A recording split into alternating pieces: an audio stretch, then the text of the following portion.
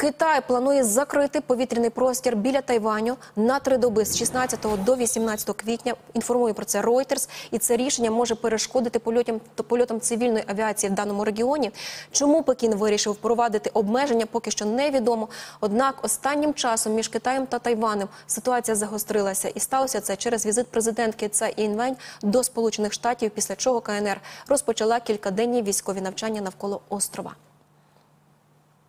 При цьому, як пише Нью-Йорк Таймс, Китай виніс важливі уроки для битви за Тайвань, але звідки з війни з Україні за даними видання, китайцям сподобалося, що Кремлю вдалося втримати захід від прямого втручання у війну, розмахуючи ядерною палицею. Тож китайці вважають, що повинні розширити свою програму ядерної зброї.